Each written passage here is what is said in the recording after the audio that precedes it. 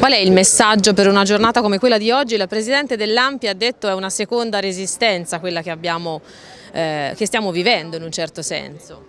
Ma mai come oggi la mm, democrazia, la libertà, eh, il valore della tolleranza eh, vanno difesi perché troppi anni, forse per troppi anni abbiamo eh, ritenuto acquisito, conquiste acquisite eh, la democrazia e la libertà. Al contrario ci sono nella, sia nella società, anche nella politica, ritorni autoritari, alcune teorie autoritarie, io credo che dobbiamo tornare a promuovere eh, questi valori. E oggi abbiamo una festa, la festa della liberazione di Arezzo dalla dall'oppressione nazifascista.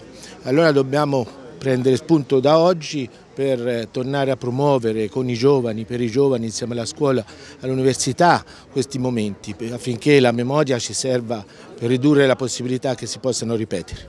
Perché essere qua oggi come candidato sindaco? Insomma, oggi questo è il suo ruolo. Beh, soprattutto ci sono come cittadino di questa città che onora una storia e una giornata molto importante. Oggi però liberazione significa soprattutto eh, la necessità che questa città trovi le condizioni per ripartire. Eh, Arezzo ha meno 27% di produzione industriale, una delle città che soffre più la crisi che abbiamo vissuto, l'emergenza sanitaria.